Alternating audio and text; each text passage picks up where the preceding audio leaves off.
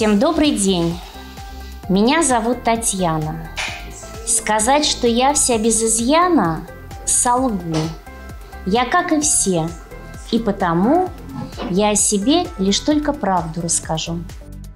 Так вот сложилось, что тягость ко всему тому, что можно себя подарить, отдать, и то, что можно получать большое общение и учиться у других, наверное, и сделать свое дело, я стала сама учительницей. Когда нам дают детей, они все разные. И мы, учителя, вот именно в начальной школе, наша задача, чтобы мы из этого пластилина, который отдельно разноцветный, у каждого свой оттенок, у каждого своя структура и ну, как пластилин. Бывает мягкий, да, и легко лепится, а бывает такой, что еще разогреть надо, чтобы лепилось. И наша задача слепить вот единое целое, коллектив, чтобы он, дети были дружны, чтобы они были друг за друга, помогали.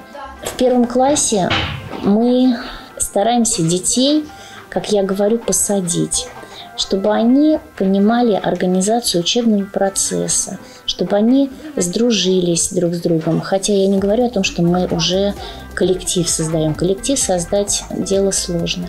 Но чтобы они подружились и познакомились друг с другом, для этого мы делаем, проводим большое количество мероприятий и э, экскурсии у нас и всевозможные конкурсы, где ребята выступают, показывают себя. Поэтому приходится, ну, скажем так, поработать. Поработать в первом классе больше, наверное, не как учитель, а как классный руководитель. У каждой мамы есть один ребенок, а у нас их приходит сразу больше 30. И каждый в тебе видит маму, каждый в тебе видит, знаете, защитницу, и каждый в тебе видит человека, который готов протянуть руку помощи.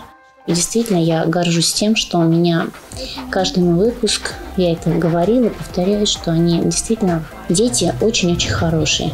Плохих детей не бывает.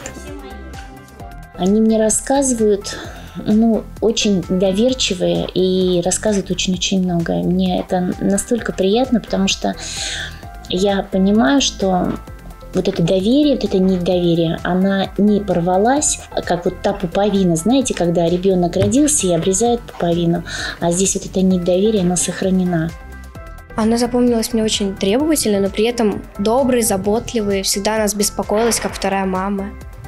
Она очень добрая, ответственная, она прям ну, доводит каждое дело до конца, не оставляет на полпути. 2023 год объявлен президентом годом педагога и наставника. И поэтому на нас сейчас лежит большая ответственность, мы находимся под пристальным вниманием. И я хотела бы всем педагогам, которые работают в школе, в детских садах, всем, кто воспитывает детей, пожелать крепкого здоровья, творческих побед, успехов, замечательных воспитанников, благодарных родителей, чтобы единое целое всегда состояла из того, что мы делаем нашим общим делом.